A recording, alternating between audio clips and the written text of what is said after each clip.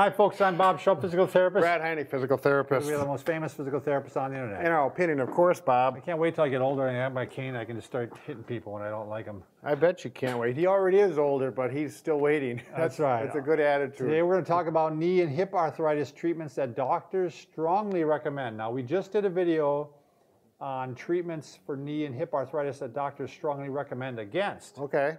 And now we're going the other direction. Um, this is by the Royal Australian College of General Practitioners. That's a mouthful. It is, and they put together a report. It was called the New Guide for Managing Osteoarthritis of Hips and Knees. They did it in 2009. They redid it now. It's a very in-depth report. Sure. It, it, it's, I, I think it was like almost 100 pages. And they looked over studies and they determined which uh, treatments they strongly recommend against and which treatments they strongly recommend for. Okay. They also have some conditional ones that conditional recommendation for, Mm-hmm. meaning that there's some question mark, but in certain cases it might be really good. Sure. And conditional recommendation against. So we're looking at the ones that are favorable for have good results over the past, and these have been, like again been studied by uh, numerous studies. Yeah, look, a review of the literature. That's exactly right. And well, by the way, if you are new to our channel, Oh, please take yes. a second to subscribe to us. We provide videos on stay healthy, fit, pain-free, and we upload every day. We are doing also a giveaway on Facebook and on YouTube. Uh, so go to Bob and Brad on Facebook. It's a lot easier to find it there because it's pinned to the top of the Sure. page. But we're giving away five TENS units. You want to show? This is a TENS unit right here. Actually, you have it on, don't you? Right. Right here, I've got it hooked up to my right knee right now, and it is activating, and it's good for uh, chronic pain. So if you have osteoarthritis or arthritis in your knee, and you're having a hard time with the pain management, you want to avoid pain pills. This can be a We're going to talk about option. this. This is going to be one of the things we talk about today. So you got a chance to win one because they're giving away five of them from iReliev. And uh, if you look on YouTube, just look up on giveaway. Uh, you know, looking under search giveaway for tens, Right. And it should come up. So, all right. So let's go back to this, Brad. They did this this report, and there's you know one of the problems with knee and hip arthritis is that that you are limited to some extent in what you can try. Sure. I mean, they had all these different drugs and they recommended against them. Uh, but these are the things they want you to try. One is land based exercises. So basically, they're talking about like walking or muscle strengthening, mm-hmm. stuff you do on the land instead of basically, I guess, in the water, aquatic. So They're that's saying avoid. no, no, they strongly recommend you do land based exercise. Okay. Absolutely. In a pool. No, that's aquatic exercise. Right. That they conditionally recommend. Okay, We'll get all into right. that one. But right now we're talking about just land-based exercise. You want to make sure you're doing walking. You want to make sure you're doing some strengthening. Tai Chi was another one. Okay. Have you ever done Tai Chi, Brad? Because you're into martial arts. Actually, just very briefly, I've never went to an official class. Learned a little bit about it, but that was in a different. Uh, I'm thinking we should get somebody on. Yeah, Like, yeah, it would be. There's a local guy. He's like 100 years old and he's doing it. But uh, number two, um, and this was no surprise to anybody, um, weight loss. Uh, Mm-hmm. less weight you have, the less weight there's going to be on the joint, um, and it's going to help matters. And it can really help if you can combine the two. Sure. You know, do, do weight loss and la- land-based Right. exercise. Yeah, I think the land based, you know, people I think, well, walking, well, it hurts when I walk. But if you do use a cane or an, an assisted device, so when you walk, you can unload the painful joint and get some motion with it without the pain. That's ideal situation. Yeah, and we'll talk about the next one too that may, maybe can help you walk. Sure. Um, and so these now, that was the ones that they strongly recommend. Okay. Now they have the ones that are conditionally recommended. All right. And the first one that we're going to mention today is the TENS unit again. Sure. So this is a great unit. You know, um, there's no side effects from it. There's a couple instances in which you can't use it. Maybe if you have a, a pacemaker or something along that line. Brad has it on his knee. You can actually get with this iReliev. You can get four pads. Right. Yeah. And uh, if this allows you to exercise and allows you to walk, you're getting the double benefit of it. Then I mean, you're Sure. you know, you're actually uh, getting some strengthening, which always helps the joint, and so it's to help you manage your pain basically. And what's nice about these units now, they're rechargeable. So it's not like you have to keep buying batteries and Right. That, was Oh. a common, one of the common problems with the older TENS units. But you know, these are really uh, come up a, a number of uh, good uh, Yeah, options. improvements. Yep. To make them more uh, user user friendly. All right, next thing they recommend is heat. So you can go ahead and take a heating pad, but it's a great way to help manage pain. Right. Which, by the way, it was interesting, Brad. They conditionally recommend against cold.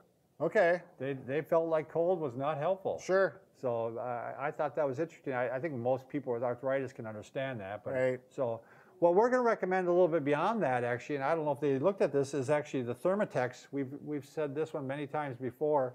The reason we like this is because it's infrared heat, Sure. and infrared heat goes much deeper than regular heat. Right. So it's going to get down into the joint itself. Sure. You know, the regular heat, the, con- the convection heat, standard heat pad goes down skin deep. You know, Yeah, a few- couple millimeters. Right. This goes 2.36 inches. You know, almost two and a half inches, well over two inches. So if you wrap it around your knee, it's actually, if it goes 2.36 inches this way and 2.36 inches this way, you're actually going to go all the way through the knee joint. Right. And, and these do wrap around the knee, and there's a nice Velcro strap.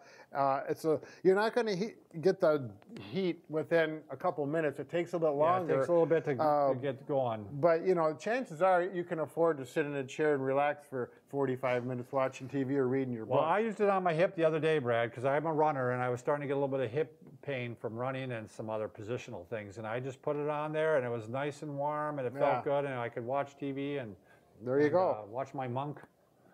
I've been watching Monk lately. oh, don't, I didn't know if you meant. Anybody else watches Monk? Let, give me a comment below. I want to see if I'm the only one out there. So, all right, next one. Uh, and the, what I liked about this list, Brad, is I had been practicing a lot of these already. I've- Sure. I've, been recommending the tens, the heat. The other one is like a stationary bike or hatha yoga. Now, I'm not really sure what hatha yoga is. It sounds like it's a mind body type thing, but it's a, a form of yoga. I'm thinking, why do I have to do it? Bob. Oh, that's Now we're gonna that's you're gonna funny. hurt some people's feelings and No, they like. Yeah, I'm people. sorry. I apologize to the half of people. Um, it's very much recommended. Recommended. Um, and we're going to actually instead instead of the stationary bike, we're going to mention our knee glide.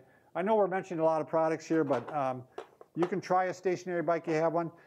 I, I use this with my wife when she was having knee pain, and it, it just works out really well because it's just really easy to to have put underneath your, your chair. It, And it offers, you know, there's some weight bearing here. It's not like walking, but you know, if you cannot walk because of pain and you know the cane's not helping, this may be the next option. Do you want to show how you can put it up on the stand? Because my wife did not like it on the floor flat like that. She liked it up a little bit. It was easier on her ankle and Yep. stuff like that. And so. yep, you can you can certainly give it that way, and that's the big uh, advantage over this uh, compared to using the towel, and especially you can do it on the carpet in your living room versus not needing a smooth floor. Boy, Very feels good. Bob. All right, let's go move on. Uh, now, number number one was land-based exercises. They strongly recommended that you should try. Sure. These are aquatic exercises, so in the water. So they conditionally recommend them. They, you know, they're saying, yeah, give it a try. You know, I mean, it's it's it's definitely worthwhile. There's a little less weight bearing on the joint, Sure. and you're getting movement. So definitely something you want to try. Uh, number five, a short course of massage therapy, and I, I find that often helps, Brad, only for the reason you, the problem might be in the joint because you're walking funny. You you might start even putting different stresses on the muscles Sure. and you're starting to get pain from the muscles itself instead of the joint. And So- after periods of time, those muscles can contract and get chronically tight. And just to loosen them up with a good deep massage, you get the circulation back and loosen things. Uh, can be real beneficial. Yeah, it's worth. It's definitely worth a try. Um, um, you might try the Pure Wave massager. Sure. Um, this is the massager we recommend right now. It, it has percussion. It just doesn't vibrate. It percusses, and uh, most people I know that got this really like it. and it has a nice air cushion Yeah. massager, so you can get closer to the joint. You're not going to go right over the bone. You're not going to do this on your kneecap. You're going to go, you know, in the muscle, close to the joint, and you'll know it. It should feel good. If you get to a painful spot, you need to stay away from there. Yeah, and I'd massage the calf muscle and the quad and the hamstring, all the muscles that come up and attach them to the knee. Sure. So that- I mean, that's a good way to go about it.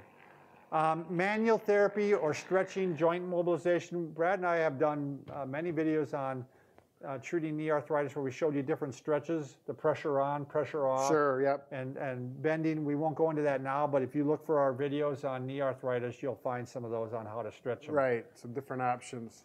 Um, an assistive device, this is something I have all my patients try right away if they're willing so, to do so is, is to use a cane or something. By the way, look at this one. This is psychedelic. Can you see that?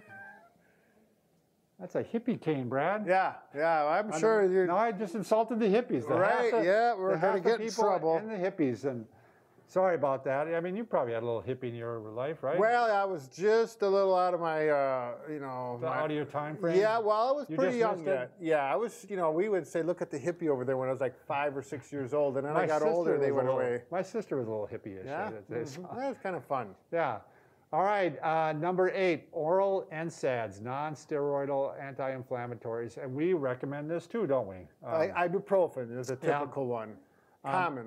they also, including COX-2 inhibitors. I, not, I, have you ever tried that? I don't know what those are. No, I'd, I'd have to do some research on Yeah. that. Um, number nine, I'm, I'm not familiar with this one either. Dule, Duloxetine, D-U-L-A-X-E-T-I-N-E.